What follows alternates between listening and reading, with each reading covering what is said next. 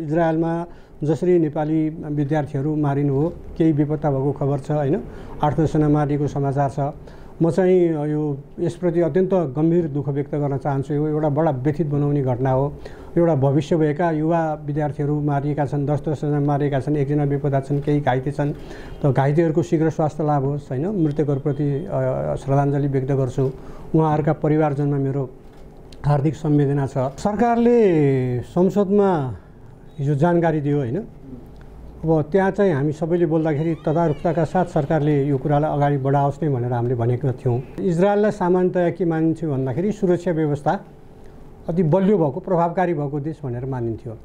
तथापि तपाईँ हामीले पढ्दै आएको होइन बिस हामीले बिस पच्चिस वर्षदेखि अखबारहरूमा सञ्चार माध्यमहरूमा हेर्दै आएको कुरा चाहिँ के पनि हो भन्दाखेरि त्यो गाजा क्षेत्र चाहिँ अलिकति इजरायल र प्यालेस्टिनहरूको बिचको अलिक बढी द्वन्द्वग्रस्त क्षेत्र पनि हो। र हाम्रो विद्यार्थीहरू हाम्रो कामदारहरू होइन जो विद्यार्थी र लर्न र अर्न भनेर गएको थिए नि काम गर्दै सिक्ने प्रक्रियामा जो गएका थिए तिनीहरूलाई चाहिँ वास्तवमा उनीहरूले पनि त्यस्तो द्वन्द्वग्रस्त क्षेत्रमा काममा नलगाएको भए राम्रो हुन्थ्यो। नेपाल पक्षले के गर्नुपर्छ भन्दाखेरि इजरायलबाट इजरायलमा हाम्रा मान्छेहरू जाने हो भने उनीहरू द्वन्द्वग्रस्त क्षेत्रमा उनीहरूलाई काममा लगाइनु हुँदैन भन्ने कुरा राख्नुपर्छ। र द्वन्द्वग्रस्त क्षेत्रमा सामान्य नागरिकहरूलाई काममा लगाउनु पनि हुँदैन। त्यहाँ त द्वन्द्व भइरहेको हुन्छ।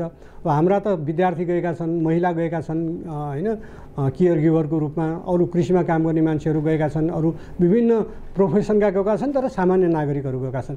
त्यसैले उनीहरूको सुरक्षा हाम्रो जति चिन्ताको विषय हो हामीले त्यसमा बारेमा नेपाल सरकारले चिन्ता लिने चासो लिने उनीहरूको सुरक्षाको बारेमा आवश्यक प्रयत्न प्रयत्न गर्नुपर्ने कुरा त छँदैछ। सँगसँगै त्यो लैजाने देशको पनि त्यत्तिकै महत्त्वपूर्ण कुरा हो। उसले विदेशबाट कामदारहरू जस्तो इजरायलले हाम्रो देशबाट होइन विद्यार्थी महिलाहरूलाई विभिन्न कामको लागि लैजान्छ भने उनीहरूको सुरक्षा गर्ने जिम्मा त उसको पनि हो नि। त्यसैले यो विषयमा हाम्रो सरकारले बोल्नुपर्छ। यो चाहिँ खालि दसजनाको परिवारको मात्र होइन। यो अप्रत्याशित घटना पनि भएको छ। त्यसैले हाम्रो सरकारले इजरायल सरकारसँग कुरा गरेर फर्कन चाहनेहरूलाई फर्काउनुपर्छ। घाइते भएका छन्। उनीहरूको उपचार पनि राम्ररी भएको छ कि छैन? त्यो उपचारप्रति पनि सरकारले चासो लिनुपर्छ। उनीहरूको उपचार गर्ने उनीहरूको सुरक्षा गर्ने जिम्मा पनि इजरायली सरकार हो। र आक्रमणमा परेर मारिनुभयो नेपालीहरू उहाँहरूको सबलाई सुरक्षित ढङ्गले यहाँ ल्याउनु पऱ्यो र उनीहरूको ससम्मान एउटा चाहिँ राज्यको तर्फबाट उनीहरूको दाह संस्कार गरिनु पऱ्यो त्यसको सम्पूर्ण व्यवहार त्यसको सम्पूर्ण प्रक्रिया चाहिँ सरकारले मिलाउनु पऱ्यो किनभने एउटा एउटा राष्ट्रलाई नै यसले एउटा चाहिँ घाइते जस्तो एउटा दुःखी बनाएको घटना हो। युद्धग्रस्त क्षेत्रमा द्वन्द्वग्रस्त क्षेत्रमा त हाम्रो नेपालीलाई काममा नलगाऊ भनेर भन्नुपर्छ होइन? तर सबै नेपालीहरू तत्काल फर्कन चाहन्छन् कि चाहँदैनन्। सुरक्षित क्षेत्रमा बसेर काम गर्न चाहन्छन् भने उनीहरूलाई सुरक्षित क्षेत्रमा सुरक्षाका साथ काम गर्ने एउटा वातावरण मिलाउने काम त इजरायली सरकारको हो नि लगेपछि। होइन जस्तो केयर गिभरहरूको रूपमा ठुलो सङ्ख्या छ नेपालीहरूको। त्यो केयर गिभरहरू त अब घर घरमा बसेर बुढाबुढीहरूको केयर गर्ने हो। भन्दाखेरि ती बुढाबुढीहरू जहाँ हुन्छन् उनीहरू त त्यहीँ बस्नु पऱ्यो त्यो ठाउँ त अलिकति सुरक्षित पनि होला।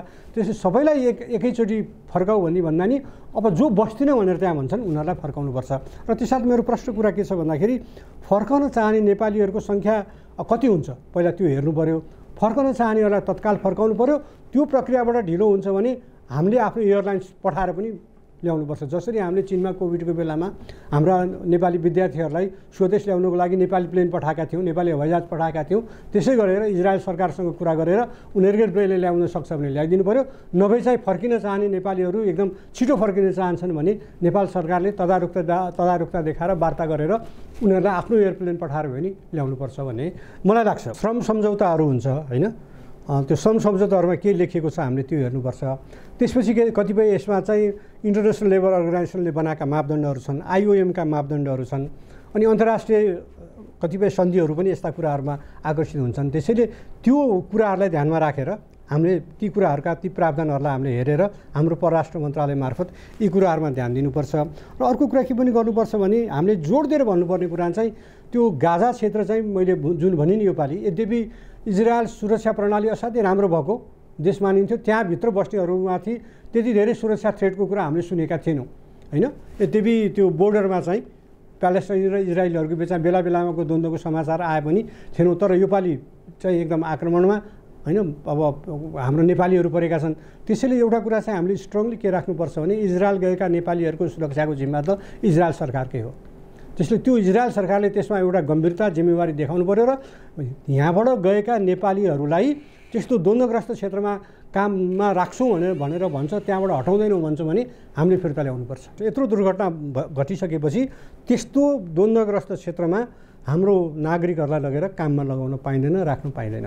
लान्छौँ भने पनि जहाँ द्वन्द्व छैन जहाँ द्वन्द्व हुँदैन किनभने उनीहरू त आफ्नो सुरक्षा पनि गर्न सक्दैन नि। उनीहरू त सामान्य नागरिक हुन् सामान्य विद्यार्थी छन् सामान्य महिला छन् केयर गिभरको रूपमा गएको। उनीहरूले त त्यो कसरी लडाइँमा सुरक्षित हुने भन्ने केही पनि उनीहरूलाई जानकारी त हुँदैन नि। हो त्यस्तो अवस्थामा उनीहरूलाई द्वन्द्वग्रस्त क्षेत्रमा काममा लगाउनु हुँदैन। उनीहरूलाई सुरक्षित क्षेत्रमा काम लगाउँछौँ भने ठिक छ। नभए हामी हाम्रो नागरिकहरू फिर्ता ल्याउँछौँ भनेर नेपाल सरकारले एसर्ट गर्नुपर्छ। यसबाट सरकार पनि सचेत हुनुपर्छ र जाने मान्छेहरू पनि सचेत हुनुपर्छ र पठाउने एजेन्सीहरू पनि सचेत हुनुपर्छ। हामीले प्रश्न भन्नुपर्छ द्वन्द्वग्रस्त क्षेत्रमा किनभने नेपालको त कसैसँग दुश्मनी छैन नि। त्यसैले यो जुन यो जुन अहिले नेपालीहरूमाथि आक्रमण भयो वास्तवमा साँच्चै निन्दनीय छ। नेपाली भने त त्यहाँ नियतता थिए। आक्रमण गर्नेहरूले पनि त्यो कुनै त्यो नेपालीहरूलाई त त्यसरी मार्नुपर्ने कारण थिएन। किन उनीहरू त सामान्य काम गर्न गएका नागरिकहरू थिए। होइन नागरिकहरूमाथि आक्रमण त हुँदै सेना सेनाको मुठभेड हुनु एउटा कुरा हो। नागरिकहरूमाथि आक्रमण गर्नु भने त जसले गरे पनि त्यो जघन्य अपराध हो। त्यस्तो कुरालाई चाहिँ होइन माफ गर्न सकिँदैन। त्यो अत्यन्त आलोच्य कुरा हो। त्यसैले हाम्रा त नागरिकहरू मारेका छन्। हाम्रो त कसैसँग दुश्मनी थिएन। मूल कुरा भनेको इजरायलमा रहेका नेपालीहरूको अब सुरक्षा कसरी गर्ने?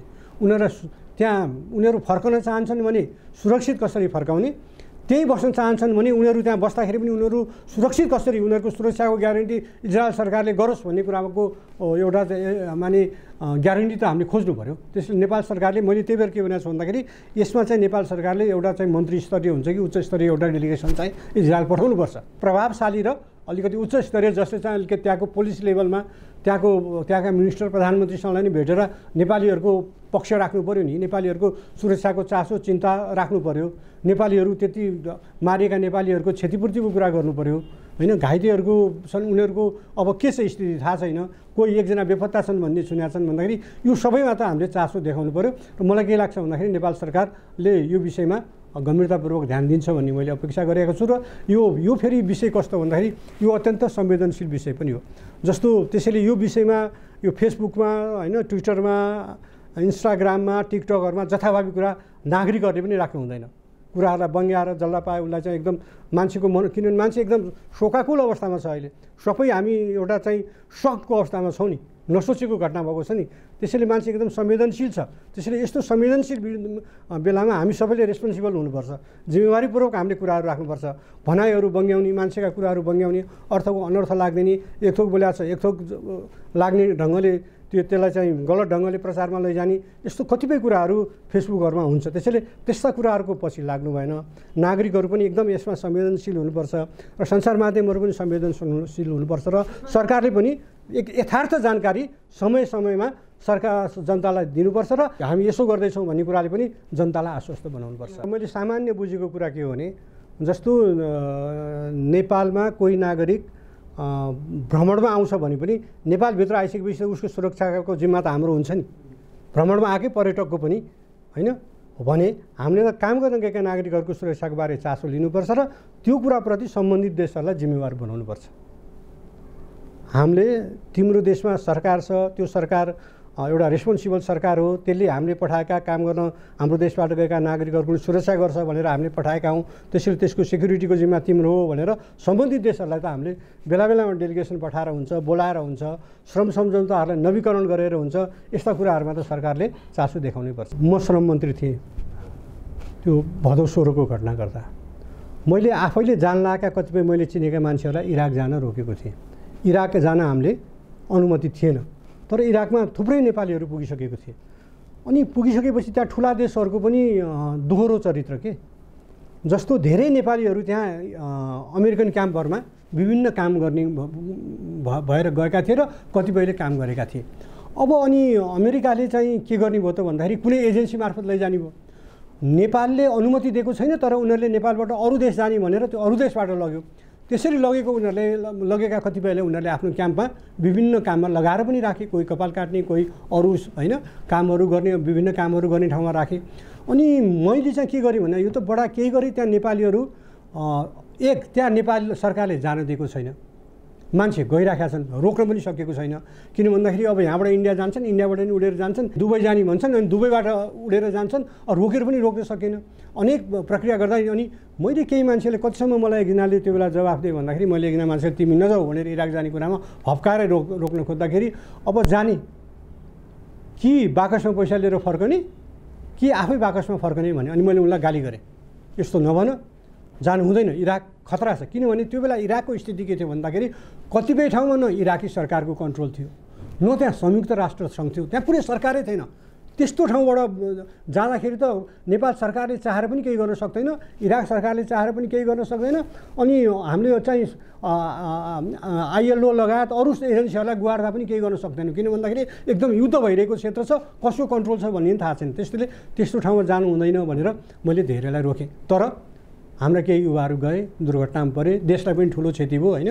त्यो ठुलो तोडफोड भयो देशमा कर्फ्यू लगाउनु पऱ्यो त्यसलाई पनि समयमा त्यो बेला मैले श्रम मन्त्रीको हैसियतमा भनेका कुराहरू मैले त्यो बेला भनेको थिएँ सरकारलाई। अघिल्लो दिन नै यो तपाईँहरू क्षतिपूर्तिको घोषणा गर्नुहोस् र राष्ट्रिय शोक घोषणा गर्नुहोस् भन्दा सिनियर नेताहरूले प्रधानमन्त्रीहरूले सुन्नु भएन भोलिपल्ट चाहिँ त्यो दुइटै काम गर्नु पऱ्यो मैले पाँच लाख क्षतिपूर्ति घोषणा गरौँ भनेर भनेको थियो भोलिपल्ट दस लाख गर्नु पऱ्यो त कुनै पनि कुराहरूमा टाइममा एक्ट गर्नुपर्छ कि? त्यसैले यो विषयमा पनि सरकारले टाइममा एक्ट गरोस्। एकदम यसलाई प्रधानमन्त्रीले एकदमै गम्भीरतापूर्वक लिनुपर्छ। हटलाइन त होला होइन? कुनै किनभने नेपाल दक्षिण एसियामा इजरायलसँग सबैभन्दा पुरानो कुटनीतिक सम्बन्ध दौत्य सम्बन्ध कायम राख्ने देश हो। त्यसैले त्यो सम्बन्धको आधारमा पनि हामीले सिधै इजरायलको प्रधानमन्त्रीसँग होइन नेतान्याहुसँग हाम्रो प्रधानमन्त्रीले कुराकानी गर्नुपर्छ हाम्रो परराष्ट्र मन्त्रीले त्यहाँको परराष्ट्र मन्त्रीसँग कुरा गर्नुपर्छ हाम्रो फरेन सेक्रेटरी र परराष्ट्रका संरचनाहरूले त्यहाँको परराष्ट्रसँग जीवन्त सम्बन्धमा रहेर एकदम भन्नु पऱ्यो नि तपाईँहरूले उद्धार गर्नुहुन्छ भने गर्नुहुन्छ नभए हामी हाम्रो प्लेन पठाउन तयार छौँ। हाम्रो युवाहरूको लागि हाम्रा चाहिँ नागरिकहरूलाई सुरक्षा गर्न के गर्ने? किन भन्दाखेरि यसमा त इजरायल सरकारले सहयोग नगर्दाखेरि हामीले पनि केही गर्न सक्दैनौँ। हामीले हाम्रो प्लेन पठाउँछौँ भने पनि उनीहरूको अनुमति त चाहियो। त्यसैले यो खालको एउटा कुटनीतिक पहल चाहिँ एकदम तदारुकताका साथ गर्नुपर्छ।